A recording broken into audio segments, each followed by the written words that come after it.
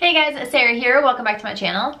Today I'm going to be talking about my favorite nude lip products. I am a huge nude lip kind of girl. You guys already know that if you've been watching me for a while. So it is no surprise that I have very strong opinions about my favorite nude lip products. So in front of me I have my favorite liners, lipsticks, balms, powders, and glosses. So I'm gonna go through all of the categories and let you guys know my absolute favorites. So if you're interested in that, keep watching. And if you're new here, don't forget to subscribe before you leave so you don't miss any of my future videos.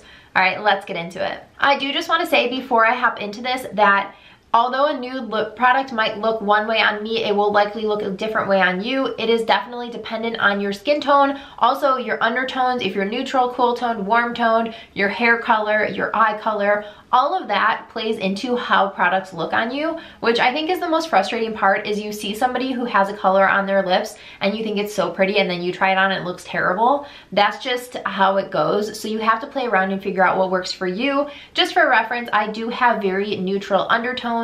So if you also have the same neutral undertones, then you may be able to use the same products on you as they look on me.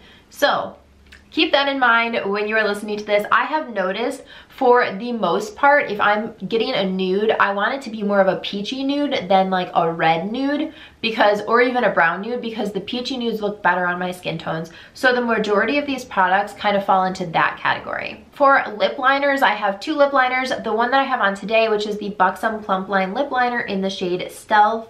I have talked about this lip liner a ton of times. I love it. Um, it is just absolutely gorgeous. I'm just gonna swatch both of them. The other one is the Marc Jacobs. This is the shade Nudeist. And I think both of these are absolutely gorgeous. They are both more peachy nudes. So this one is the Buxom the top one's the Buxom and then this one is the Marc Jacobs. And I think both of them are gorgeous. They both stay on all day. The Marc Jacobs is a much thinner lip liner. So generally if I'm not filling in my entire lip with my lip liner, I'll use the Marc Jacobs. But if I want to fill in my whole lip, I'll use the uh, Buxom one just because it's a bit thicker. It's more like a crayon than a pencil. So these are my two favorite nude lips. And like I said, I do have the Plump Line in Stealth on my lips right now. And then I have three lipsticks to share. The first one is from Bare Minerals. This is from their Gen Nude line and it's in the shade Heaven. So this is a pretty typical lipstick formula. It's very pigmented and it's a satin finish. So it's really, really comfortable to wear.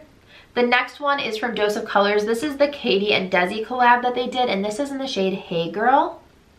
And this one is a matte finish. And then the third one is from Origins. This is the Blooming Bold in Sweeter Than Honey. And this is another satin finish. So these are the three. This top one is the Bare Minerals. This one is the Dose of Colors Hey Girl, and this one is the Sweeter Than Honey from Origins. This last one is obviously the most like typical nude, but these ones are both also pretty neutral. I have two balms to share. One of them is from Flesh. This is in the shade Lick. This is the only product from Flesh that I've actually continued to use. I tried out a bunch of their products. I did a full video on them and I just I don't know. I never reach, some of the products I really liked, but I still just don't reach for them. But this lip gloss or like lip balm in the shade Lick is a really good one. And then also the Origins Blooming Sheer in the shade Honey Blush. So this one is the Flesh in Lick and this is the Origins in Honey Blush. Both of them are pretty sheer. Neither of them are gonna leave your lips completely opaque, but I kind of think that's the point. I like both of these. They're so good to just throw in your purse and go. They were actually both in my purse. I had to go get them out to film this video because I just love both of them so much.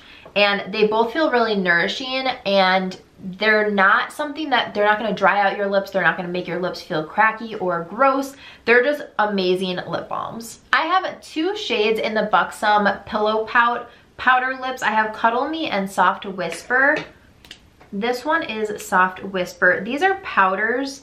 They're an interesting formula. They have the powder in the bottom of the cap and then they just have this sponge applicator at the top so this one is Soft Whisper, and then this one is in Cuddle Me. This one's a little bit more pink than Soft Whisper is. So this top one is Soft Whisper and then this bottom one is Cuddle Me. But these are a really great formula too because they are matte. So once you put them on, they're not gonna continue to transfer all day. You can kind of just put it on and forget about it. And it's supposed to give you that like lived in look. It's not supposed to be a perfect application. So because they are a nude formula, I do like this because I don't have to be precise or worry about being precise. And since it's a more dry formula, since it's a powder, it doesn't feel like it's slipping all over my face. So I do really like these and I actually had um, Soft Whisper in my purse. Okay, last up, let's talk about lip glosses. I have two of them to share with you. I actually have full sizes of both of these and both of them, I cannot figure out where I put them.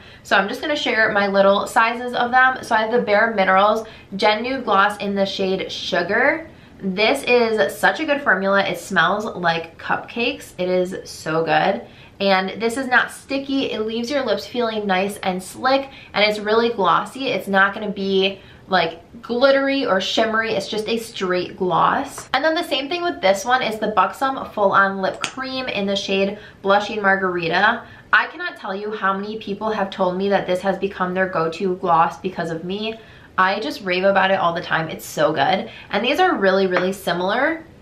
So the top one is the Bare Minerals and Sugar and the bottom one is the Buxom in Blushing Margarita. But as you can see, both of them are very glossy. Neither of them is shimmery or glittery.